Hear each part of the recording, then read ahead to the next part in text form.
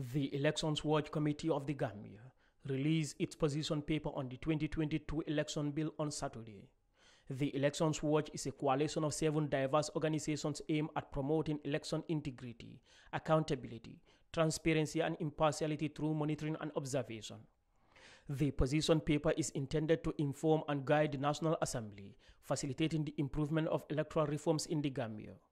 It provides background information on the need for electoral reform and outlines methods for achieving it. During the press conference, Mr. Ansumana Kamara, chairperson of the Elections Watch Committee, advocated for the removal of clause allowing attestation for voter registration from the election bill. He also presented statistics on attestation from the last electoral cycle. The EWC is of the view that every Gambian should have a birth certificate, identification card, or passport.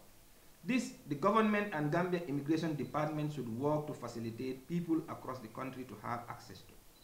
The issuance of attestation by Alkalo or Seyfo can be, can be abused or ev as evident in the 2021 General Voter Registration exercise where EWC observers reported that 385 of 472 reports indicated that some or many applicants utilized an attestation from form of identification.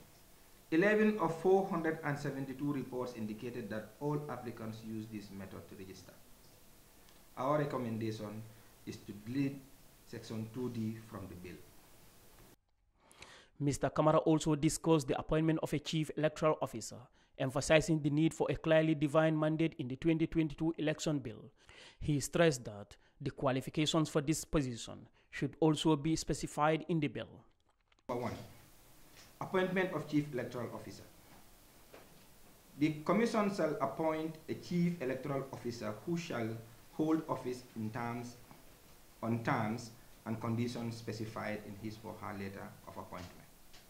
The EWC is of the view that the term of the chairperson of the IEC should be clearly outlined in the Act.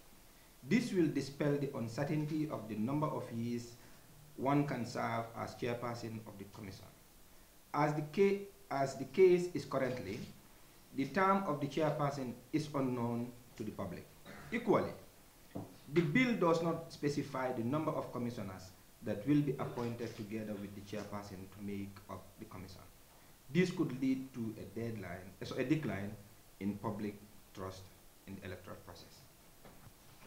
The Act has not clearly stated the qualifications of the positions of electoral officer or chief electoral officer or commissioner. For an independent institute of this nature, the qualifications for the position must be stated to facilitate the appointment of individuals with track records and character to execute their duties.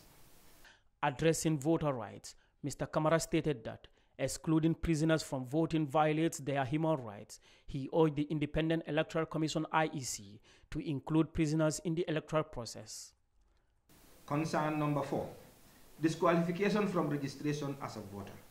A person shall not be entitled to have his or her name entered or retained on a register of voters if he or she is serving a sentence of imprisonment. The prisoners are already serving time for their crimes.